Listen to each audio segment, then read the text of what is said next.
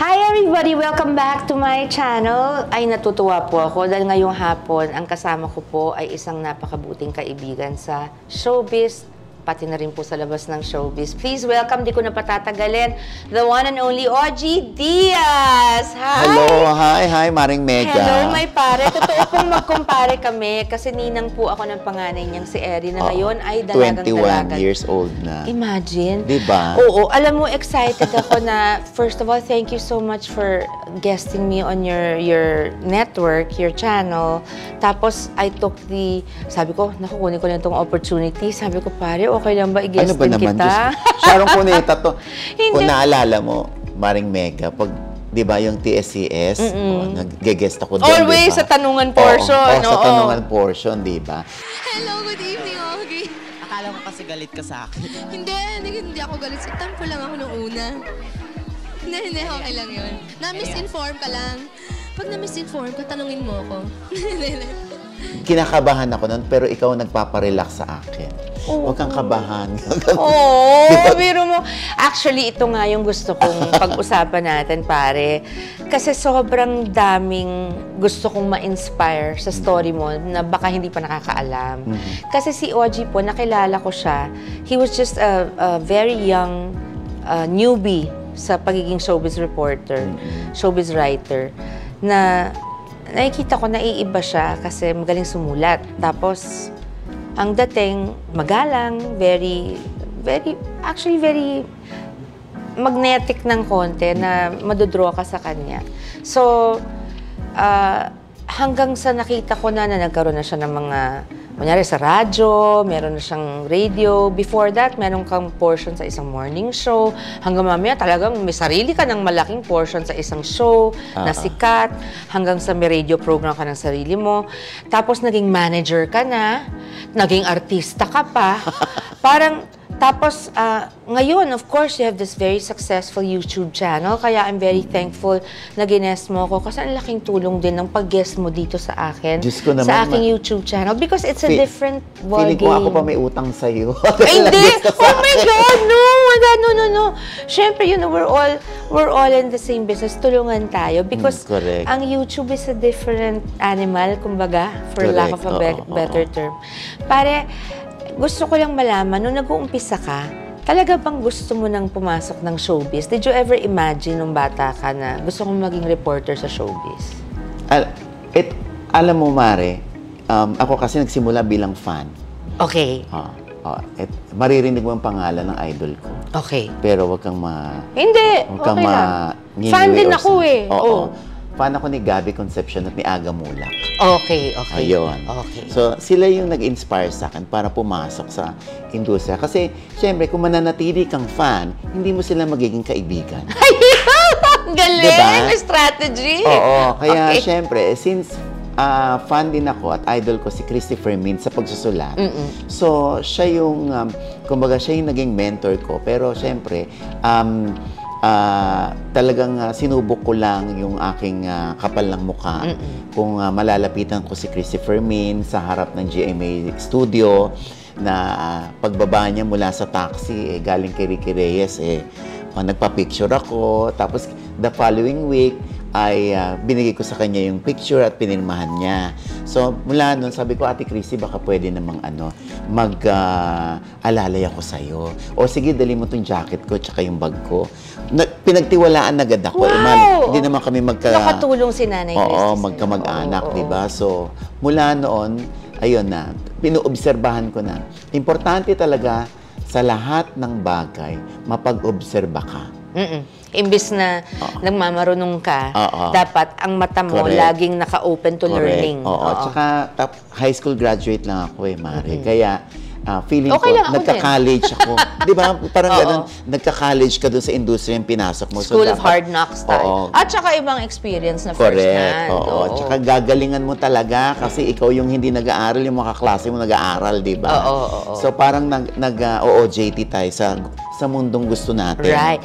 Binigyan ka ba agad ni Nay Christy ng pagkakataong maging writer? Humingi ba siya muna sa'yo ng mga sample na mag-try ka nga Hindi, sumulat? ito na nakakaloka. Oo. Kasi sabi ko sa kanya, Ate Christy, Christy, ano kasi, may matagal na ako nag-aalalay sa kanya. Sabi, Ate Christy, baka naman pwede mo ako mabigyan ng trabaho kasi syempre, yung tatay ko po napatay sa hold up. Hindi nga. Yeah, taxi driver na napatay sa hold up, kaya lalo kaming medyo bumaon. Ang taxi driver yung tatay, Tatay mo. ko. Panglimang hold up na hindi niya na-survive. Oh my Lord. So, sabi ko, ah, sige, ah, gusto mo ba magtrabaho? Akala ko gusto mo lang mag-alalay. So, sige, um, gusto mo ba ipasok kita kay Ricky Reyes, shampoo girl? Kay Ricky Reyes. Kaya na, kay Mama Iki, ginawa ka siya from showbiz nagpuntang parlor. Ate, Ate Christy, parang hindi ko yata puling niya yun. oh, imagine mo kung... Pero ako naging boss kung mo rin si Mama Iki. Kung pinatus ko Oo, yun, eh, may yun. sarili na akong parlor ngayon. Actually, ba, ang makakarebel mo si Mama Iki rin. Oo, tsaka si ano, si... Tita Fanny. Oo. diba? Oo. So, sabi ko, hindi po yan ang mundong gusto ko. Gusto ko ho yung maging katulad mo, maging ah, showbiz talk show host. Pero in, ilusyon ko lang naman yon Kaya sabi, o sige, magsimula ka bilang proofreader. So, nag, ah, nagsimula akong proofreader hanggang sa... Explain mo yung proofreader para yung dun sa mga proofreader hindi nakaka... ng, ng mali sa mga sinusulat na artikulo na ipinapasa sa editor. So, y- so, yan yung minumura ko ni Ate Christy. Kasi hindi ako marunong gumamit ng nang na mahaba, ng na maikli, ng raw daw. Yan, mga ganyan. Kaya dumating na sa point na nag, nagpupunta na ako ng National Bookstore at patakas ako at patago na nagbabasa ng mga libro para para mag-aral ng pang tuition marks. Kaya kahit colon, semicolon, dash, tsaka hyphen, alam kong gamitin. Ngayon. Oo. Pero nung araw, dire-diretso lang. Oo, no diba? comma, no Diba? Si Miss Sharon, ang host, ang ganda-ganda niyang sumulat. Tsaka, tsaka alam mong, she is a good writer herself. Thank you. So, Oo. no, I just... Kasi yung mga message mo sa mga greeting card na may kasamang pera, ha? Na, ano ka ba? Ang ganda ng mga sulat na to. Ganyan Nung- siya magregalo. Nung araw yun. Hindi, alam mo, pag Christmas nung araw, remember pag Christmas nung araw, pag magbibigay ako talaga ng Christmas gift sa press, alam mo bang magkakaiba bawat message ko? Oo. Personalized Kay- talaga kung ano yung karakter oo. nung reporter. Oo. Iba. Kaya minsan Yung compare ano ang- namin. oo. Ay, akala ko iisa lang ang Yeah, message oo. natin Hindi pareho. ko na kaya ngayon, pare, kasi Oo. syempre... Tsaka wanna- looking forward ang mga reporter nung araw sa gift ni Sharon na napadalang ka na ba ni Sharon? Wala pa nga eh. Ba't kaya? baka Minsan- may sumabutahe, baka may humarang, ganyan. Ganyan din ang worry ko noon. Baka Minsan- nasiraan tayo kay Sharon, may mga ganyan kami. Kasi malaki magbigay si Sharon. Hindi kasi naman, basta may blessing si Lord sa akin noon, eh kayo yung katulong ko sa lahat ng Oo. success. Wala ka namang buhay sa showbiz kung walang nakakilala sa iyo. Ah, eh sino bang tumutulong sa iyo? Ang press, 'di ba? Malaking utang na loob namin Tsaka sa ano, si Sharon hindi niya inaano. Hindi niya pinag mamakaingay yung tulong na ginagawa niya. Ang dami ko nababalitaan na, ha, si Sharon ang guma ang ano nagbayad ng ospital, mga ganyan ganyan. Wala. Sabi ko, oh my god. Madalas, madalas ako makakarinig pero hindi ko naririnig kay Sharon. Ay, wala akong So, naalala. ibig sabihin, de, pag sinabi mong wala kang naalala, ibig sabihin, naturalesa mo yon.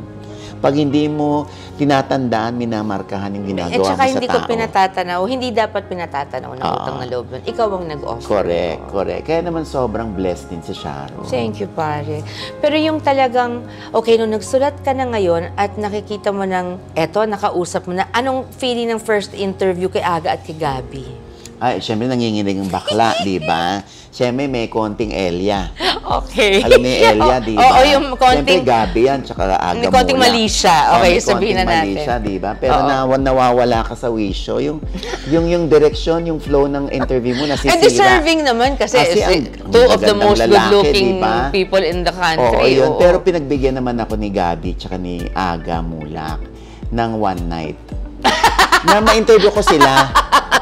Na ma-interview ko sila, Mari. Set. ko lamang. Oo, Pero alam ko yung fantasy mo.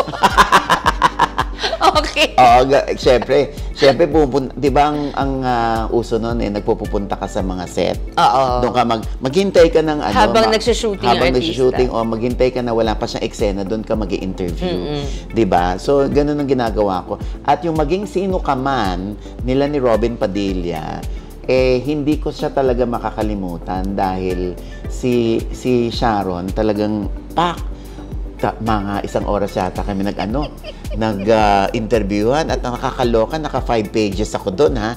Cover story ako. Ibig Sabi sabihin, ko, "My magaling ka God." sumulat. Hindi. Madaldal yung kausap ko. Madaldal yung kausap ko. Hindi ka na mag-iisip. Oo. Ito, tra- transcribe mo Oo. na lang. At saka alam mo, may, may, may laman. Thank you, pare. alam mo naman, meron din, syempre, may, sa industriya natin, meron din mga magaganda lang pero walang laman.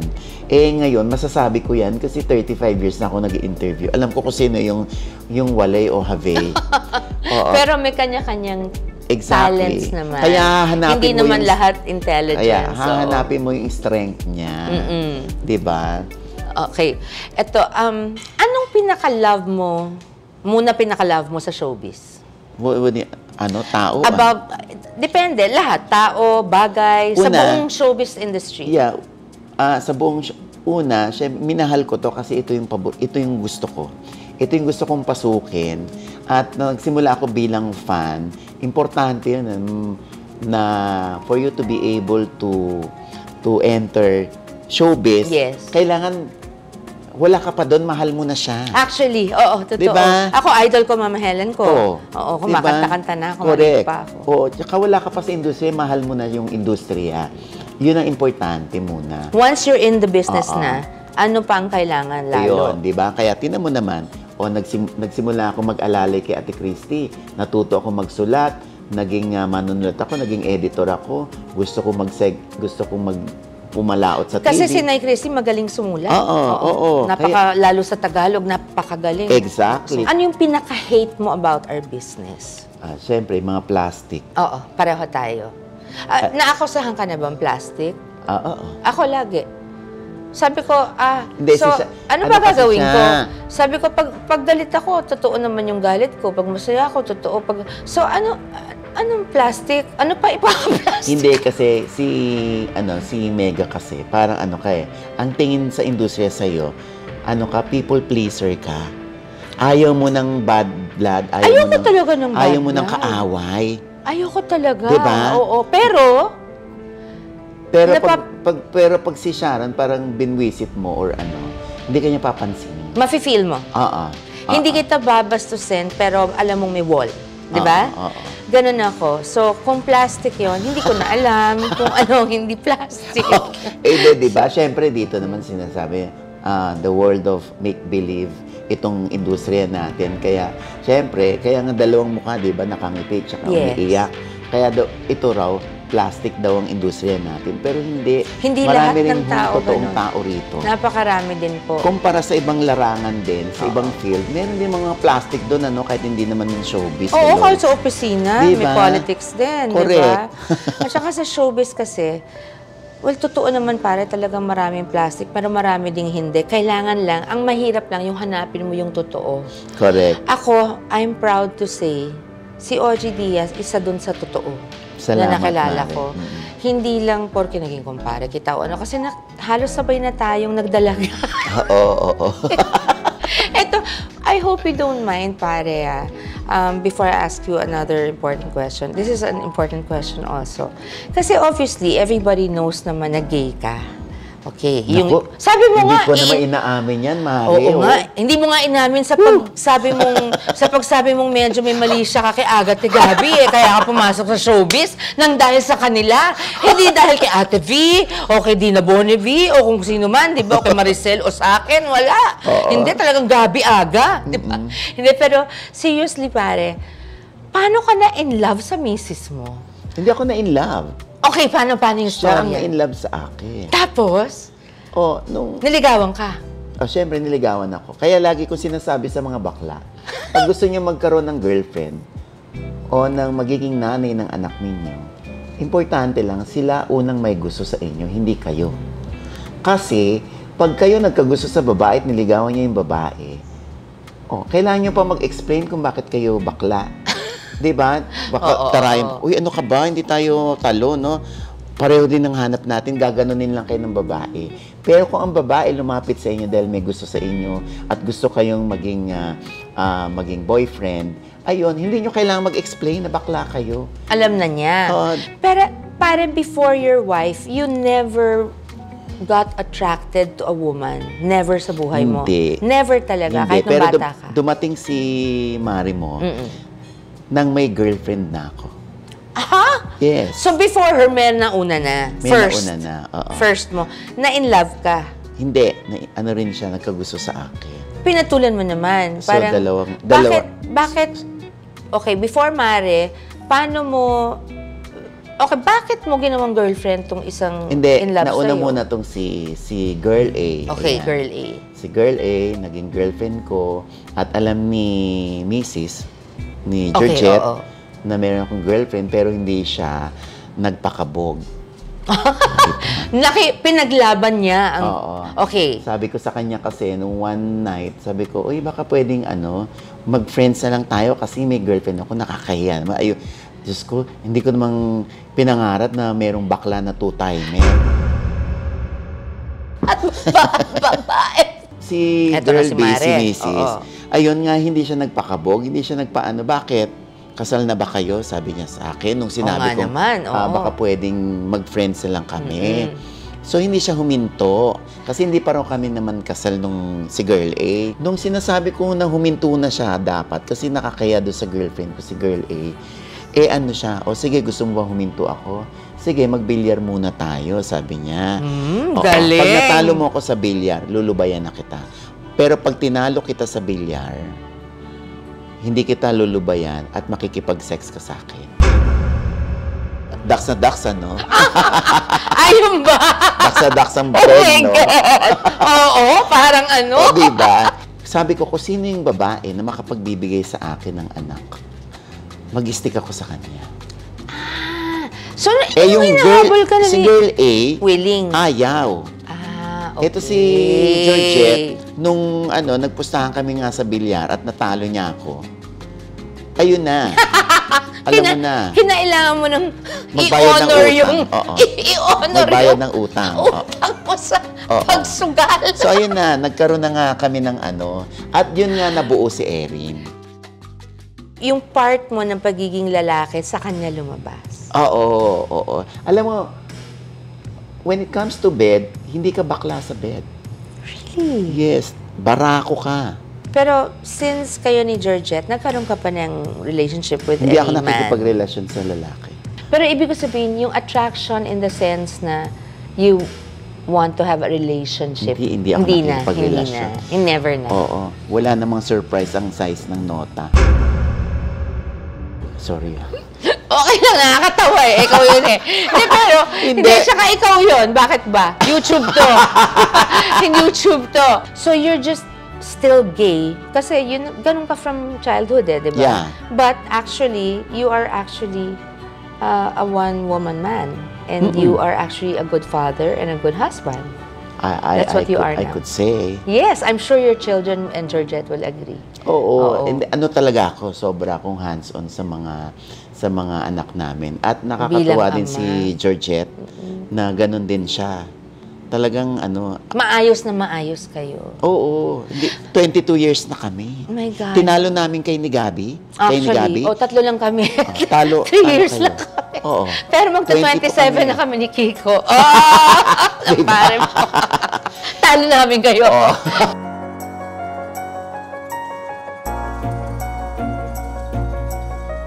Kaya ako proud sa'yo, pare. You really start, you were, you had very humble beginnings. Inamin mo nga, fan ka na kaya ka pumasok. Gusto mo lang actually makilala si Gabit si Aga, di ba? Pero look at the success na natamo mo. Masasabi mo ba na kailangan mahalin mo talaga rin yung trabaho mo? Sobra. Dapat mahal mo yung trabaho mo. Kasi unang-una, ikaw ang bumuo kung nasaan ka ngayon. Right. Ikaw rin naman ang wawasak Totoo. ng trabahong yan na binuo mo. Kaya dapat, ah, dapat, pag mahal, pag mahal mo yung trabaho mo, ituloy-tuloy mo lang para yung trabaho mahalin ka pabalik. That's true. I say Diba? that all the time. 'Di ba? Kasi Love your job. ako kaya ako sabi mo nga never stop learning. Yes. Stop when you're dead. That's true. Kasi hindi porke nagka-award ka o masyado ka nang pinupuri ng tao o may hit movie ka, alam mo na lahat. No. Hindi. No, hanggang kamatayan, natututo ka pa rin. Matututo ka pa sa mga apo mo. Ano ang hardest lesson na natutunan mo in life para speaking of yung mga leksyon? Ano? Ay, grabe. Ang dami kong ano. Alam, ewan ko, sa akin kasi, um, na-excite akong ah, magtrabaho kapag, kapag una, gusto mo yung ginagawa mo. di ba? Yes! Importante yan. Huwag mong pilitin ang sarili mo na gawin ng isang bagay na ayaw mo kasi mahihilaw yung resulta. Mm-mm. Di ba? Tsaka hindi ka masaya, hindi ka... Alam mo, oo, hindi siya yung barya lang kinikita ko rito, pero happy ako. Doon kayo. It adds up! At saka masaya Importante ka. ang mental health. Yes! Gawin nyo yun. Yung barya na yun, yun ang, ah, yung barya na yun ang, na, na-translate yung inyong passion. Mm-mm. Gawin ninyong ano yung motivation yun para yung barya na yun gawin yung buo Right. sa mga in the future, di ba? That's right. Ang ending niyan, isa na kayong may-ari ng kumpanya na yung kumpanya na yung gustong-gusto nyo at excited kayo lagi pumasok Yun, kasi gusto nyo yun. pare yung... Um, I'm just really, I really wanted to interview you kasi pwede namang you just had me on your channel pero pwede naman palagpasin ko. But I really, really wanted to interview you because I want, I wanted you to be able to share um, and inspire other people. Kasi alam mo pare, marami na ako syempre nakilala. Marami akong kaibigan sa press. Marami ding hindi. Um, meron akong mga minahal at binigay yung Trust. Di ba tayo, when we offer our friendship, we're Buo. January born. Ako, I'm very sincere. When I say, I will really be there for you. So you also expect the same in return Exactly. na yung respect lang and a little love, Mm, di ba? tama. Um, you're one of those people. I thank And you. Thank I want to, I want to, and I want people to know na hindi porke nasa showbiz tayo, dalawa rin lagi ang mukha natin. Nagiging dalawang mukha natin kasi umiiyak at tumatawa rin tayo bilang tunay na tao. Oo, oo, oo. Thank you for being a true friend to me. I think that's why you are so blessed and hindi tumitigil ang blessing sa'yo. Dahil marami ka rin tinutulungan. Sobra. At um, napaka, di ba? At um, hindi lang yun eh. Tama ang puso mo. Nagpapasalamat ako sa'yo sa pagiging kaibigan thank you, mo sa Mare. akin. Thank you. Kahit thank di tayo madalas nakikita, kilala ko yung mga totoo at isa ka doon. Salamat, Maraming salamat, salamat. pare. Akala nila madali lang maging artista at sumikat. hindi. So, akala nila madali sumikat at madaling yumaman. Hindi. Ang daling pasukin ng pag-aartista. Yun ang actually gusto kong tanungin. Anong masasabi Hindi ho mo? madali. Ako, naniniwala ako, lahat yan nasa timing. Mm-mm. Pag pumasok ka rito, kung hindi pa ngayon, hindi pa bukas, hindi pa next year, hindi pa the next 10 years, eh, kung ito talaga gusto mo, hindi ka dapat mainip. Right. Dapat magtyaga ka ng magtyaga. Kasi pag na, nasilo mo rin yan, nahuli mo rin yan, Diyos ko, nanamnamin mo. Pare, napaproud din ako. Sabi, nabanggit mo yung workshops mo. Mm-mm. Bakit ka nagtayo ng workshops? Meron ka bang mga teachers talagang hinire na Ako nagtuturo, experts? Mare. Ikaw mismo. Kasi tinuturo ko yung what does it take to be an artista. Um, yung ah, ano ba dapat meron kayo para makapag-artista kayo. Attitude. So, tina- ang oh, attitude, tinuturo mo rin. Oo, yung Paggalang. Yung- sa kapwa. Nasa buto yun, ha? Kung totoong mabait at mabuti Actually, yung bata. kami, tayong old school, kaming bata, kaming mga nag-umpisa nung araw pa, pagka talaga merong senior sa aming artista, kahit di kami kilala, lalapitan namin, magandang hapon po. Exactly. Ako po si Sharon, ganyan-ganyan, bago po akong singer. Kasi na, na, na, na ano ka rin, starstruck, di ba? Pero paggalang yun. Ganyan yung tinuro ko kay Liza Ang kita, Soberano. napakabait na bata naman talaga. Oo. By nature, mabait si Oo. Liza. Pero meron kasing nakakalungkot minsan nasasalubong namin noon sa ABS corridor, kunyari. Pagdaan, feeling ko, kamag-anak kaya ni Boss Gabi yun? Parang Lopez kung umarte. Daig pa yung mga Lopez, si Don Henning nga bumabati kahit sa janitor. Yung mga bata ngayon, makasalubong na face-to-face, Oh. parang dinaanan nila poste lang na Oh. hindi naman ako nag expect ng anything, just a little, yung, yung Oo. parang, hello po, parang kahit walang hello, kahit hi, yung smile Oo. na hi, parang minsan talaga, ang feeling ko tuloy, padar ba ako? Pumayat na ako, di ba? So- Kasi kami nga hindi so, ganun. yeah, so naikwento mo yan, Sharon. So, ang next naman na tanong dyan, clue. Okay. Ano yung clue? sa blind item mo. Sino yan? Oh, marami! marami over the years. Totoo, marami over the Eh, ikaw years. pa naman, napakayaman mo sa pagngiti. Ah, actually, napaka talagang maano, alam mo, default, ako yung, default setting ko talaga, Miss Congeniality ako eh. Oo. Ah, maano, kasi nga mo, eh, eh, ang dali-daling maging masaya eh, ang dali-daling maging mabait kaysa sa maging masama ugali. Correct. Pare, at this point in your life, what, mag-Oprah Winfrey question ako, what do you know for sure? Yung alam mo na talaga na part na ng wisdom mo. At ang paniniwala ko, um, pag gumawa ka ng mabuti, nako, ang daming kabutihan ding babalik sa'yo kasi gumawa ka nga ng mabuti. At pag gumawa ka ng masama, ayan na. Alam mo na yan, di ba? Ini-expect mo na yan kung anong kapalit niyan. Yes, wag kay ah, wag kayong masyadong sitting pretty sa akala ninyong trono ninyo na nakabola kayo Just- or na, nakapanira kayo ng tao. Nakapagpaaway kayo ng tao or ikinayaman ninyo na ikinahirap ng iba dahil sa, sa kagagawan mo. Ikaw ang babalik at babalik sa iyo Correct, in one way correct, or another. correct. Kaya Oo. tayo pareho eh. Oo, Ganun Capricorn. yun. Yes! Oo, thank you so much. Thank you so much. I love you, Salamat. pare. Always here for you. Thank you. Salamat. Alam Give- ko, ramdam ko yan. Give my love to Georgette and lalo na to my Erin and Yes. all the other four kids Oo. na believe ako nakalima ka, pare. Diba? Yun ang masasabi ko, five-point guy. God bless you, everyone. Like I always say, let us leave the world a better place than when we first entered it, which means let's go on with our kindness campaign. Every little act of kindness, be it hindi naman kailangan pera. Kahit a little, you know, we need Oo. kindness so much in this world, especially nowadays. Kahit magbigay lang kayo ng kape o oras sa isang nangangailangan sa home for the aged o sa isang um, orphan, bigyan nyo lang ng oras o whatever. Please continue sending us your video clips and um, by sending us your video clips dyan sa email address na yan, um, video clips lang po at uh, part ng kindness campaign. I started that kasi here, pare. Wow. Ang tinatanggap namin, yung iba pong topics, hindi po eh, ina-accept yan ng aming staff. So, yun lang po mga video clips at uh, connected sa kindness campaign ang bubuksan namin mga email nyo. By uh, sending us your video clips and your stories, that means you are giving us your approval and you're agreeing, you are agreeing for us to air those clips here when the episodes come. Thank you Maganda so yan. much and God bless you everyone. Stay, stay kind, be kind and stay kind. I love you. See you next time.